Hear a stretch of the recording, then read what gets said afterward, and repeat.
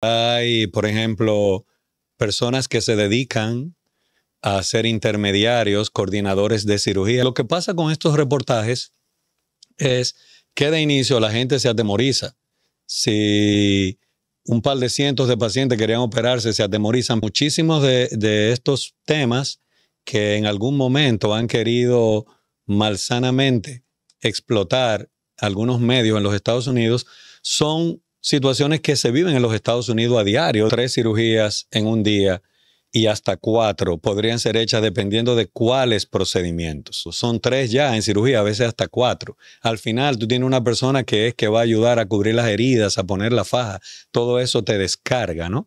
Los protocolos internacionales, tanto de América Latina como de los Estados Unidos, afirman y reafirman que hasta cinco horas de cirugía son seguras para los fines biológicos.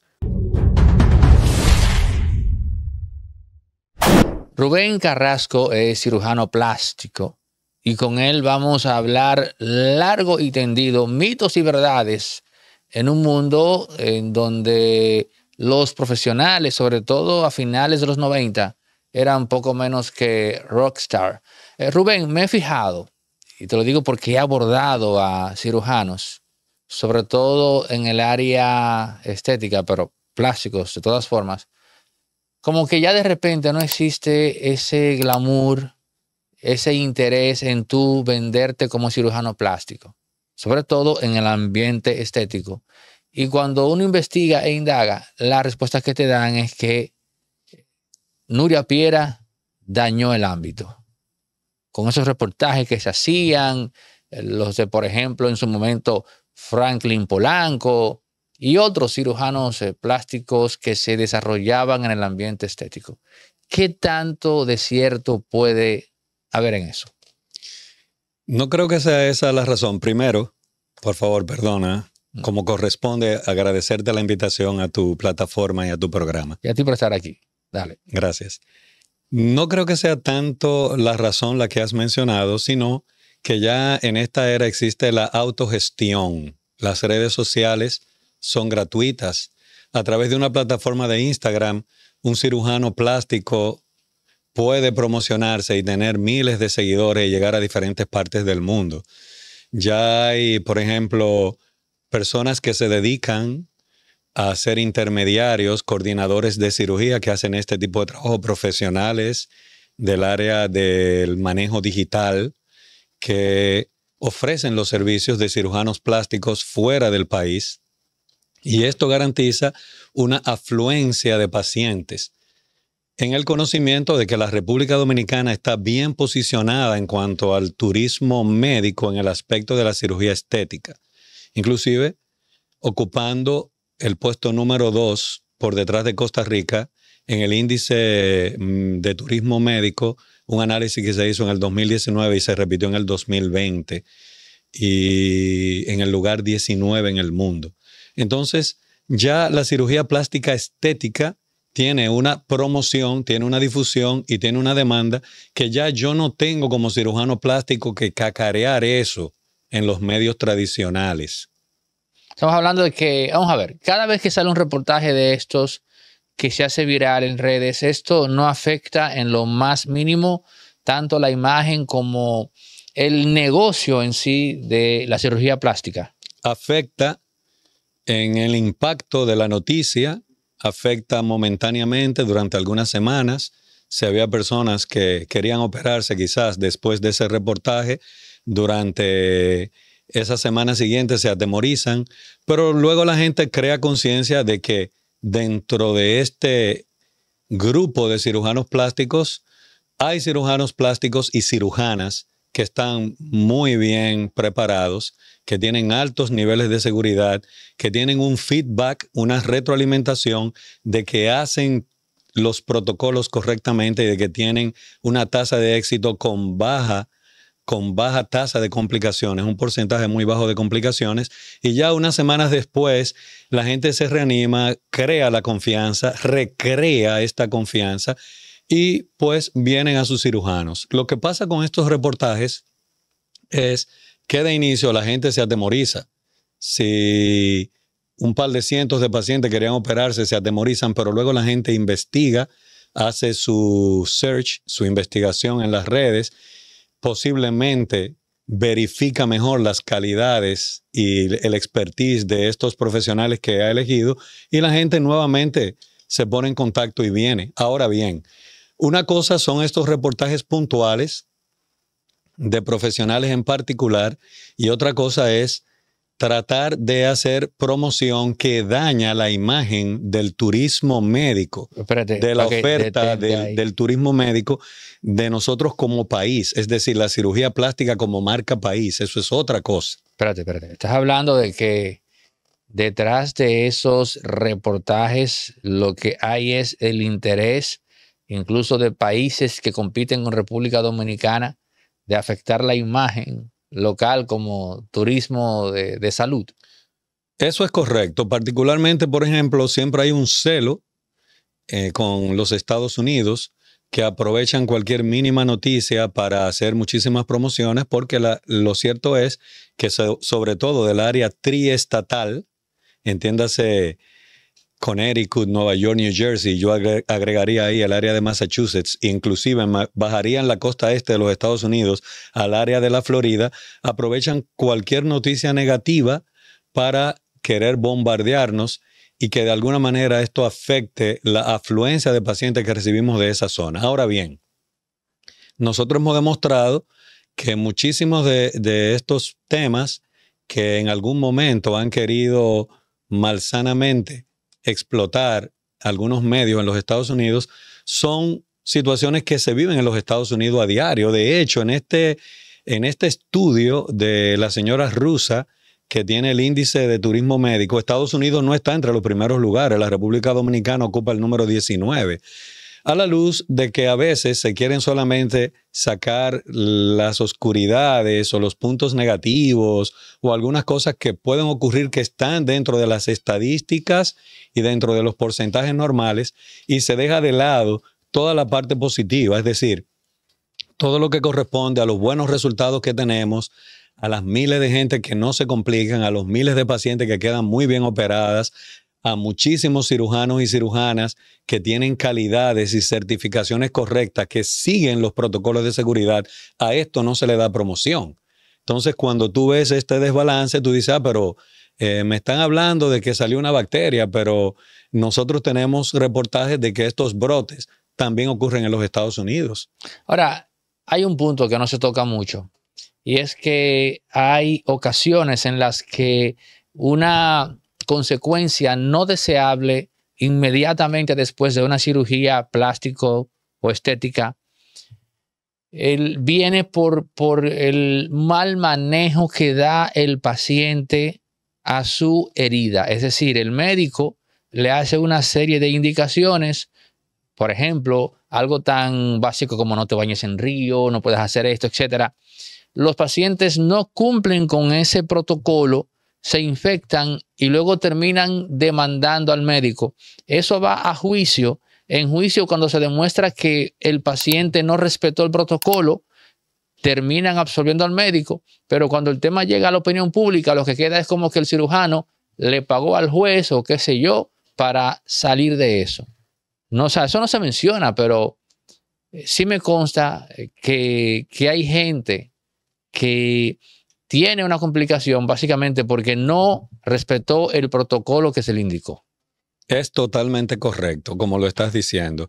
Todo esto del posquirúrgico de una cirugía estética, que es el tema que está en, el tapete siempre, y qué pena porque la cirugía plástica tiene una amplia, una área muy amplia de cirugía reconstructiva. Siempre que hay una complicación, no se toma en cuenta que esto es un binomio, que la cirugía, el experto tiene una responsabilidad, pero que después de una cirugía realizada, la mayor responsabilidad está en manos de la paciente y de sus familiares. Una de las cosas irrefutables en la vida es que el dominicano es lo máximo y a nosotros nos enorgullece llevar el ADN dominicano en nuestro nombre. Lote de lotería y don de dominicano, es decir, Lotería Dominicana. Está bacano eso, tú no te sabías eso. Lotedón es tan dominicano como el merengue. Lotedón es tan dominicano como el arroz con leche y el sancochito que prepara mi abuela cuando está lloviendo. Ay, ay, ay, hasta hambre me dio, Dios mío. No me haga eso. Amamos tanto ser dominicanos que en nuestra quiniela ahora la llaman la dominicana. Qué lindo suena. Puede que sepas muchas cosas de Lotedón, pero ¿sabías que Lotedón tiene cuatro presentadoras de sorteo? Que tiene cuatro ganadores millonarios de 25 millones de pesos con el Agarra 4 y que justamente este mes de agosto cumplimos cuatro años de aniversario, bien de cuatro. Póngame un agarra 4, por favor. Anote. 44, 48, 49, 04, 45.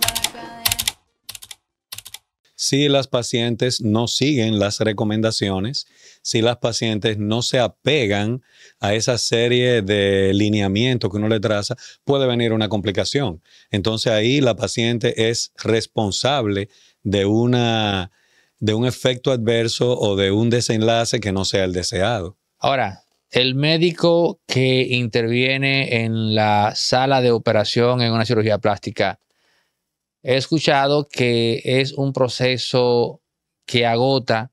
Hay cirujanos que, amén del éxito que han tenido, han terminado eh, disociándose totalmente del proceso de operación y lo que hacen es contratar médicos, prefieren pagar grandes sumas de dinero antes que volver a verse involucrados en un proceso que, que es sencillamente agotador. Te digo esto porque siempre aparecerá quien no quiera llevarse de esa norma. Y hay médicos también entonces que, hacen dos y tres operaciones por día. Te pregunto si si un ser humano como tal puede a nivel cognitivo y hasta locomotor llevar tres operaciones en un día sin que en un punto determinado eso comprometa la seguridad y salud del paciente. Sí, si estamos hablando de números como por ejemplo tres cirugías en un día y hasta cuatro podrían ser hechas dependiendo de cuáles procedimientos en el entendido de que hay cirugías únicas que pueden durar entre una hora y media a dos horas, dos horas y media, y que además el cirujano no opera solo, el cirujano tiene un equipo que le asiste. Muchas veces tiene un compañero, colega cirujano plástico de frente, tiene médicos generales con expertise en la instrumentación quirúrgica, tiene enfermeras, tiene instrumentistas, tiene circulantes. Cuando se habla de que un cirujano hace una cirugía, no es él, él tiene tres o cuatro personas más que lo asisten.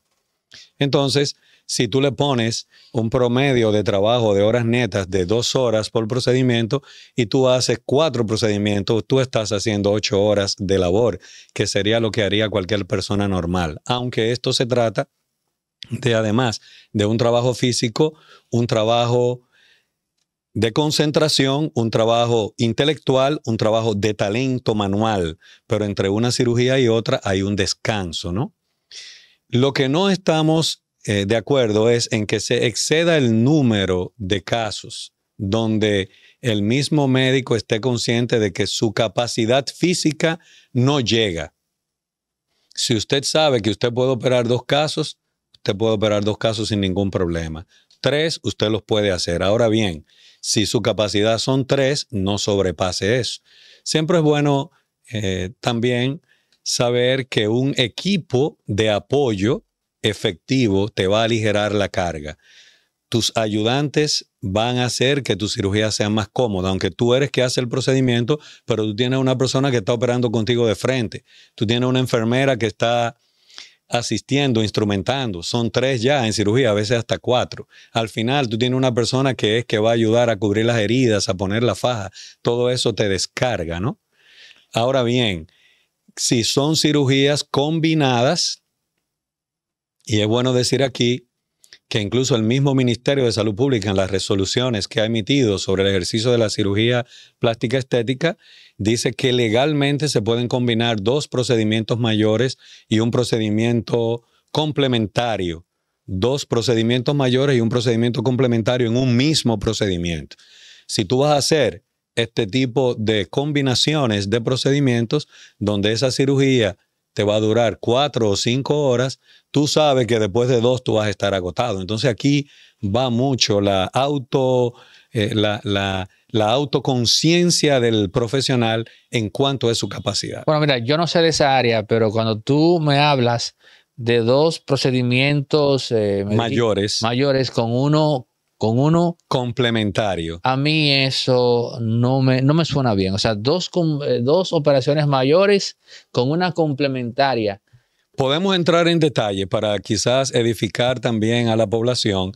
Los procedimientos mayores en estética son, por ejemplo, un estiramiento del abdomen, que es lo que se llama una abdominoplastía, es una cirugía que se hace comúnmente, un levantamiento de senos, es una cirugía mayor, una lipoescultura es una cirugía mayor, procedimientos para mencionar los más comunes, unos implantes de mama es un procedimiento mayor. Procedimientos complementarios sería, por ejemplo, transferencia de grasa a los glúteos para darle forma, una lipo de papada, una lipo de brazos, un levantamiento de cejas, tipo de papada, un tipo de brazo. Porque se considera que son esa- procedimientos que duran menos tiempo y que llevan menos, demandan menos del cirujano y consumen menos al paciente, porque una lipo de papada tú la puedes hacer en 15 o 20 minutos. La transferencia de grasa a los glúteos, que es un procedimiento que está muy de moda, inclusive ya los, lo llaman hasta por las siglas en inglés, el BBL, Mm, por el, las siglas Brazilian Butt Lift, que es el levantamiento de glúteos brasileño, pero en verdad no, no es ni brasileño ni el levantamiento de glúteos, es un remodelado glúteo. Tú lo puedes Con la hacer grasa en- corporal. Exacto, la grasa, la propia grasa de la paciente se procesa y se transfiere a los glúteos. Este es un procedimiento que puede durar entre 30 minutos a 40 minutos. Pregunta necia. Y si el rebalanceo, redondeo queda mal, ¿se puede sacar la grasa otra vez si el glúteo vuelve como estaba? Se podría hacer una corrección en caso de que quede, por ejemplo, algunas áreas un poco asimétricas, que significa que posiblemente quedó un poquito más de grasa en un lado. Aquí también va el aspecto escultórico de la cirugía, donde el cirujano va introduciendo la grasa en un lado, va contando la cantidad de grasa que, tra- que transfiere y también trata de hacer lo mismo del otro lado. Ya esto es parte del expertise, del, del aspecto artístico, escultórico del cirujano. Ahora bien, si tú piensas en función de esto y tú dices, una abdominoplastía dura dos horas, un levantamiento de senos o unos implantes me dura una hora. Y una cirugía complementaria, por ejemplo, una lipo de papada me dura 20 minutos, media hora. Cuando tú sumas estos tiempos, tú vas a hacer esos, esas dos cirugías mayores, senos y abdomen, y la papada en tres horas y media. Es bueno establecer aquí que los protocolos internacionales, tanto de América Latina como de los Estados Unidos, afirman y reafirman que hasta cinco horas de cirugía son seguras para los fines biológicos. Lo que hay que tratar es de no exceder cinco horas de un paciente dentro del quirófano. Entonces ahí es que te digo, si tú vas a hacer una cirugía que te dura cuatro horas y media, tú podrías hacer dos cirugías y hacer un tercer procedimiento más corto. Lo que no se podrían es hacer muchos casos de cirugías que te van a durar ese límite de tiempo que es cerca de las cinco horas. La psicología de una figura pública que va al quirófano dista de la psicología del ser anodino, un- una Juanita Pérez, digamos, ¿no? O sea, hay un tratamiento diferente de esa figura hacia el médico o ustedes perciben bueno, viene fulana para acá, ya tú sabes. O se puede decir que hay un mismo, trat- eh, un mismo patrón de comportamiento de quien va a hacerse una cirugía plástica y, y muchas veces estética. Muy buena pregunta. Realmente la, la actitud con la que el profesional recibe a cualquiera de estas dos personas es la misma. Pero y él y el, y el paciente El- difiere cuando es una figura a cuando es una persona. Pues mira, sorprendentemente, aunque no sea una figura pública que va a dar rostro, como dicen ustedes en los medios televisivos, las personas normales que vienen a las consultas de cirugía estética tienen expectativas muy altas, inclusive a veces hasta expectativas irrealistas de cómo pueden quedar. Y en ese caso ya la labor de la consulta es aterrizar las expectativas. A veces hay personas que vienen y te traen una fotografía. Eh, es muy, eh, eh, nosotros como cirujanos le tenemos miedo a la paciente que viene a hacerse una cirugía de cara o de nariz y saca una foto de una modelo caucásica. Y esta es Juanita Pérez. Esta no es una chica que trabaja para Telemundo. ¿Tú me entiendes? Entonces, en, en materia de cirugía estética, la psicología propia del individuo respecto a la imagen que tiene de cómo va a quedar y al grado de belleza que puede alcanzar es la misma.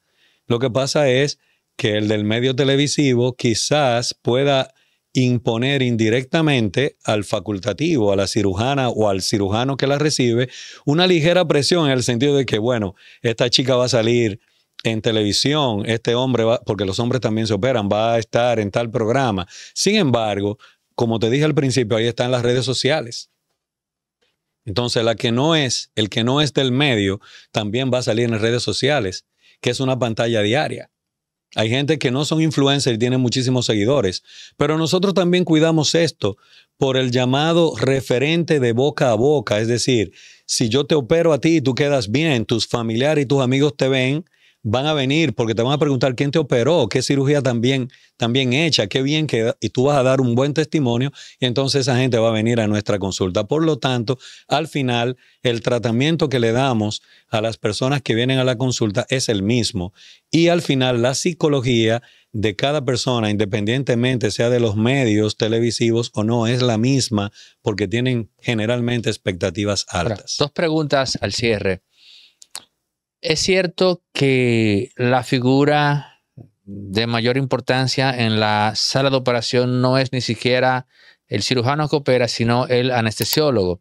Y que si algo sale mal, todos miran primero al anestesiólogo, todos investigan primero al anestesiólogo. Debo decir ahora, para como un, una galantería, que parece que te estudiaste bien tu tarea antes de esta entrevista, porque es una formidable pregunta.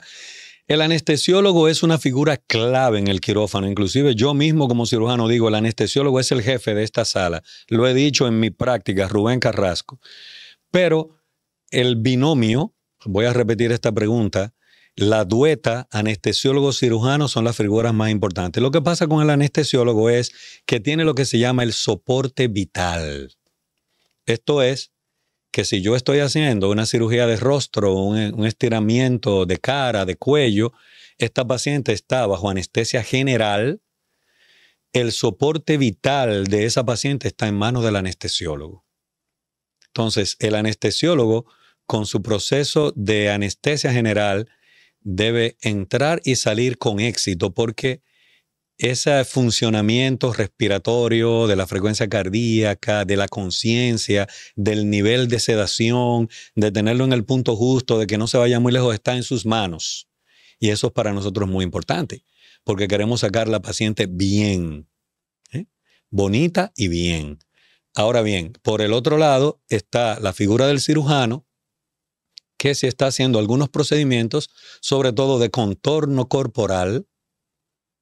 Estos procedimientos tienen una agresión natural sobre el cuerpo de la paciente.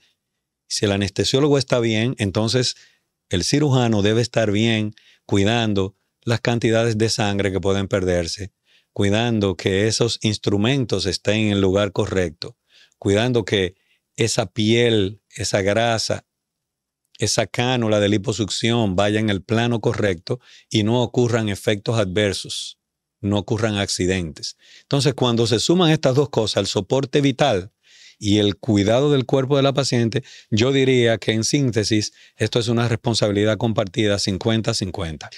Es cierto que entre ustedes los cirujanos plásticos se ponen tras pies a un punto de que incluso pagan por reportajes en distintos medios para sacar de circulación a un cirujano, para que la gente me entienda.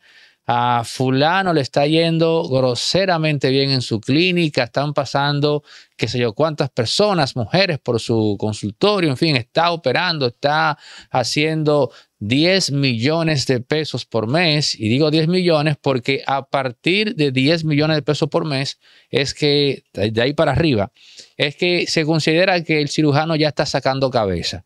Pero viene fulano, no sé, le paga a alguien por ahí para que le haga un reportaje.